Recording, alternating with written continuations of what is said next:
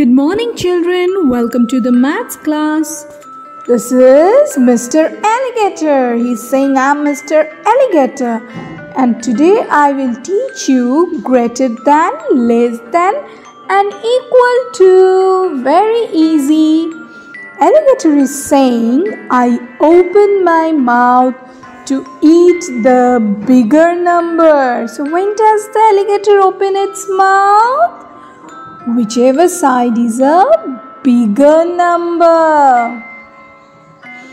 See which side the mouth is open. This is greater than. That side is always a bigger number. And the opposite side where the mouth is closed. That is always the less number. So that is called less than. Equal to when both sides the numbers are equal, then we use the sign equal to. Means both the numbers are equal. Now let's understand with some example. This side there are three fishes and this side there is only one fish. Three fish are more than one fish. Yes or no? Yes. So 3 is greater than 1. Which side the crocodile will open its mouth? Of course to the greater number. So 3 is greater than 1. 3 is greater than 1. Now next example. There are 4 leaves.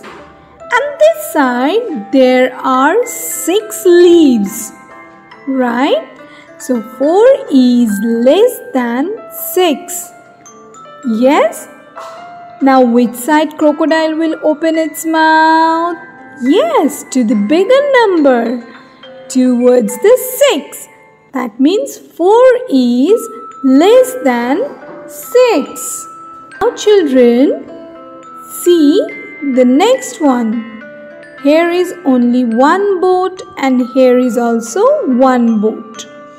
Now tell me 1 is equal to 1, isn't it? So which sign will be here? Yes? Very good. Equal to. There will be equal to sign. Very good. Now it's your turn. See here, there are eight kites and there are four kites. Which side the crocodile will open its mouth? Yes, towards the number 8 because 8 is greater than 4. Next example. There are two ice creams and there are three ice creams which side the crocodile will open its mouth? Towards number 3. Because 3 is bigger than number 2. 3 is greater than number 2. And 2 is less than 3. Now see here there are six bugs and there are eight bugs. Which side the crocodile will open its mouth? Of course, towards the bigger number, that is number 8. 6 is less than number 8 and 8 is more than 6.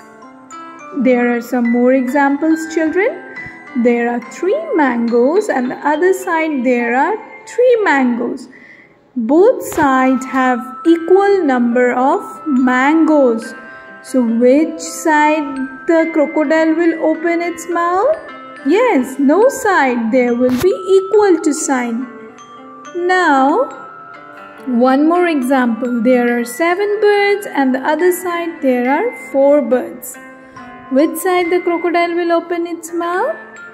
Yes, towards the number 7 because 7 is greater than 4. Thank you. That's all for today. Bye bye.